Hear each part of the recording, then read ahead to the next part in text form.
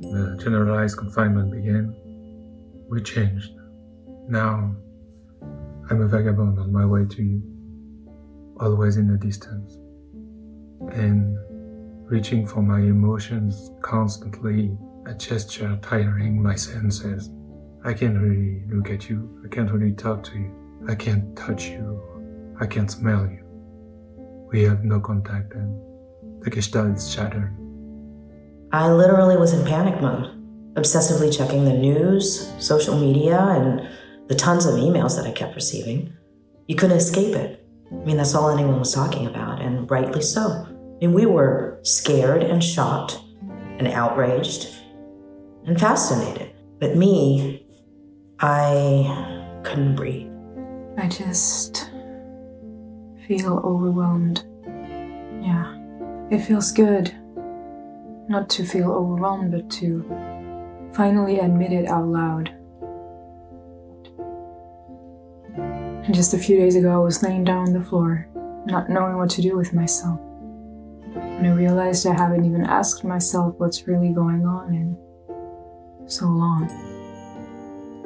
This is a reminder for all of us that the environment has to be taken seriously, that no one is more important than the other, and this desire for money and power is nothing but an accessory to what really life is. This is a difficult and scary time. But from the start, I saw quarantine as an opportunity for self discovery and personal projects. Every morning, I go for a run and I observe the emptiness of the streets, the homes where the shutters are drawn, the peacefulness, the lack of cars, noise, pollution. I admire the beauty all around me because Paris without people is still Paris. Not so long ago, I was listening to opera, and I put on my wall this quote. This was the last day of your life. You spend it the way you're spending it today. Since we've been in lockdown, I try to live by that statement. Try to live your life your own way. Live out loud, and be grateful for the things you took for granted. And be grateful for the ordinary heroes who cure and save lives. Being inside during this pandemic is a privilege. You're not stuck indoors. You're staying inside so that people at a higher risk than you won't die. You haven't lost all your freedom. You're temporarily changing your routine so that people won't die. You miss going to the park. We all miss going to the park. I wake up and I try to understand why I am in a hurry to have a coffee.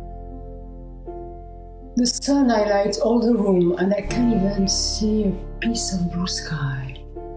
And the chimney seems brand new for me. Yes, it's real. I'm alone in this apartment, alone in this city, in this country. Che adesso sono ovunque su, su, sul suolo di questo tempio. Sono, sono, sono tutti segni che sto vivendo in un incubo senza fine.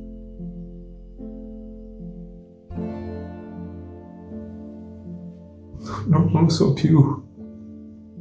Non so più. It's funny how this invisible thing that's waiting to catch us has made our shortcomings quite visible. Ineffective healthcare system, political incompetence, selfishness, greed. It's all there. Yet, in every crisis, there's also a spark of something beautiful. People helping people. And sometimes at a great personal cost. Empathy. I hope that stays.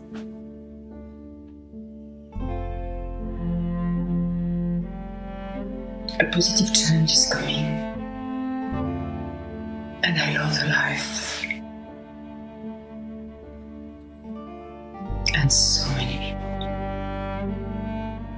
We extend our deepest condolences to the friends and families of those who lost their lives due to COVID 19.